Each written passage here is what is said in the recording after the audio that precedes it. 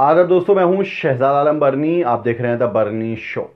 आज हम अपने शो में जो मुद्दा लेकर के आए वो मुद्दा है देश के अंदर वैक्सीन लगने के बाद कितने लोग इस वैक्सीन से बीमार हुए और किस तरह के प्रभाव वैक्सीन के देखने को मिले हैं? दरअसल, देश के अंदर 16 जनवरी 2021 को कोरोना के खिलाफ वैक्सीन की शुरुआत की गई।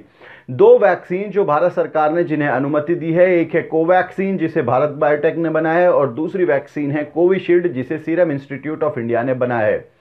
इन दोनों वैक्सीन को इजाज़त मिली है, लेकिन इमरजेंसी इस्तेमाल की इजाज़त अभी मिली थी, लेकिन सरकार ने ऐसे ही लगाना इसको शुरू भी कर दिया है। इसको लेकर के पहले ही सवाल उठ चुके हैं। वैज्ञानिक प्रोफेसर गगनदीप कांग ने सवाल उठाए थे कि अभी थर्ड फ़ेज़ के ट्रायल के आंकड़े नहीं आए हैं कि इसका प्रभाव लोगों पर कैसा होगा, लेकिन उससे पहले ही इजाज़त दे दी गई, जो कि गलत है। लेकिन बहरहाल 16 जनवरी 2021 को खुद देश के प्रधानमंत्री नरेंद्र मोदी ने वैक्सीन का शुरुआत की। लेकिन वो वैक्सीन खुद उन्होंने नहीं लगवाई। वैक्सीन लगाई गई all India institute of medical sciences Delhi के एक सफ़ाई कर्मी को, जिसका नाम है मनीष। और मनीष के वैक्सीन लगते ही 20 मिनट बाद उसको एलर्जी होने लगी, उसको परेशानियाँ होने लगी, जिसके बाद उसको एडमिट करना पड़ा। हालाँकि वैक्सीन को all India institute of medical sciences के डायरेक्टर प्रोफेसर रणदीप सिंह गुलेरिया ने भी लगवाया था। देश भर में हज़ारों की तादाद में वैक्सीन लगाई गई, लेकिन उसके दुष्प्रभाव सबसे ज़्यादा दिल्ली के अंदर ही देखने को मिले। कुल मिलाकर के 16 जनवरी को 75 लोगों पर वैक्सीन का दुष्प्रभाव देखने को मिला।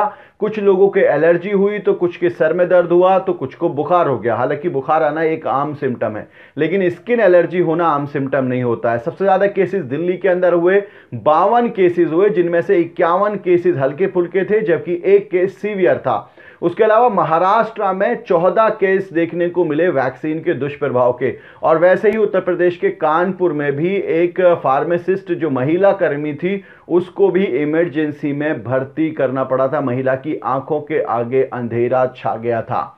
तो कुल मिलाकर के पहले ही रोज पिछहत्तर लोगों पर वैक्सीन का दुष्प्रभाव देखने को मिला है। आगे आगे देखते जाइए कि कैसे हालात बनेंगे, क्या इस वैक्सीन के रिजल्ट्स आएँगे, क्योंकि जो रिजल्ट्स आने चाहिए थे, पहले उनके अभी आंकड़े आए नहीं हैं। तो हो सकता है कि वैक्सीन लगा करके ही आंकड़े हासिल कर लिए जाएँ, लेकिन देखने वाली बात यह है कि पहले रोज किसी की मौत नहीं हुई है, हालाँकि कई सारे मामले देखने को मिले।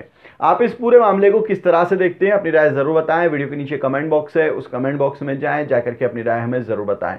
आज के इस एपिसोड में इतना ही। हमारी आपसे रिक्वेस्ट है, इस वीडियो को शेयर ज़रूर करें और हमारे चैनल को सब्सक्राइब ज़रूर करें। और आप हमें सोशल मीडिया पर, यानी कि इंस्टा ट्विटर और फेसबुक पर फॉलो करने के लिए वीडियो के नीचे जो लिंक्स दिए हुए हैं, उन लिंक्स पर जाकर के आप हमें सोशल मीडिया पर फॉलो कर सकते हैं। बहुत बहुत शुक्रिया।